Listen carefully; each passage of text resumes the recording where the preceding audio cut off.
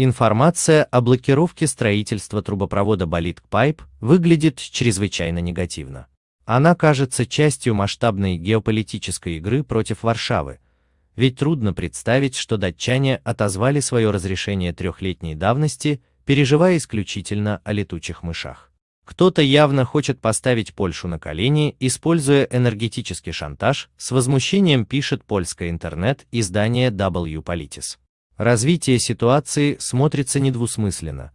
Германия и Россия получают разрешение США на достройку Северного потока-2, а Польше запрещают строить газопровод.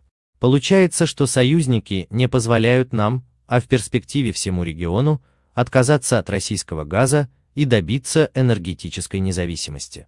Кроме того, увеличивается давление на польскую энергетику, работающую на угле.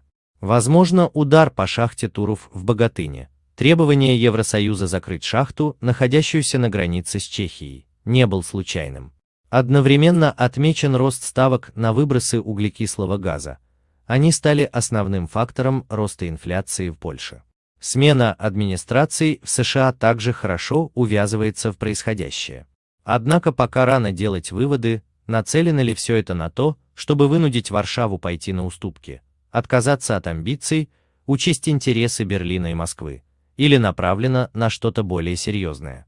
Мы лишь наблюдаем, что в различных сферах Польша готовит ловушку, из которой, возможно, она не сумеет выбраться. Варшаве нужно бороться, так как геополитические тиски сжимаются, а конъюнктура становится менее благоприятной.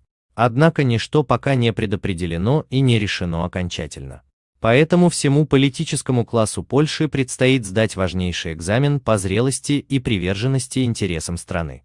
Ставки невероятно высоки, вероятно, они даже больше, чем мы себе можем представить.